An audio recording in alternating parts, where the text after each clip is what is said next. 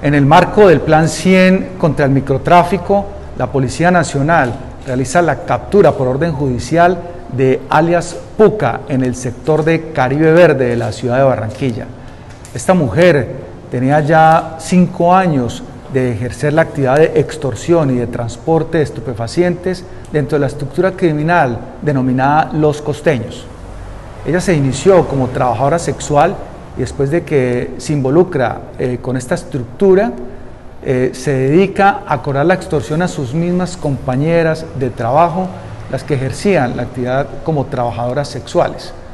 Eh, exigía la suma entre 30 y 50 mil pesos semanales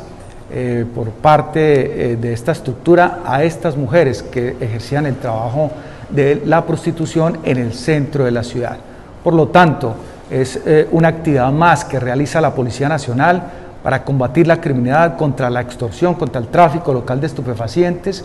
y es una más dentro de seis personas ya capturadas de los objetivos principales que se tienen en estas cápsulas investigativas que están siendo perseguidas por parte de los investigadores de las diferentes eh, direcciones operativas de la Policía Nacional.